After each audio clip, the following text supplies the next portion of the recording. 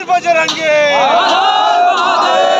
जय भीम दोस्तों, आज के दिन जिनका जन्म जयंती मना रहे हैं, जो कार्य राष्ट्रीय बजरंग दल, अंतर्राष्ट्रीय हिंदू परिषद, जो कार्य तोगड़िए साहब ने शुरू से उठा कर रखा था, वही कार्य डॉक्टर बी आर अंबेडकर का था।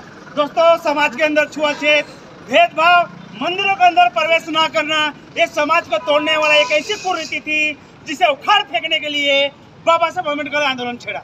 वो हिंदू धर्म के खिलाफ नहीं थे, लेकिन छुआछूत और भेदभाव के विरोधी थे।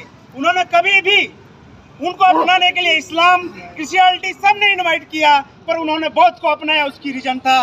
बौद्ध हिंदू धर्म के एक पंथ है, और इसका भी एक ही कार्य शांति सर्वभवंतु सुखनाम दोस्तों, उसी तरह बी आर अंबेडकर का एक सौ जन्मदिन हम मना रहे हैं। और हम राष्ट्रीय बजरंग दल के कार्यकर्ताओं का एक ही उद्देश्य है कि हर हिंदू सम्मानित हो, किसी के अंदर भेदभाव ना हो कोई जातिवाद ना हो मंदिरों के अंदर सबका प्रवेश हो सभी हिंदू हिंदू कहलाने के लायक हो चाहे वो दलित हो या ब्राह्मण हो या राजपूत हो हिंदू होने पर गौरव करे सभी जातियों का साथ लेकर चले ऐसा समाज का निर्माण करना राष्ट्रीय बजरंग दल अंतर्राष्ट्रीय हिंदू परिषद और डॉक्टर अंबेडकर का यही उद्देश्य था।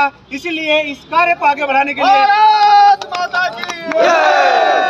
डॉक्टर डॉक्टर प्रवीण तोगड़िया ने कहा जब तक बटेंगे, तब तक घटेंगे।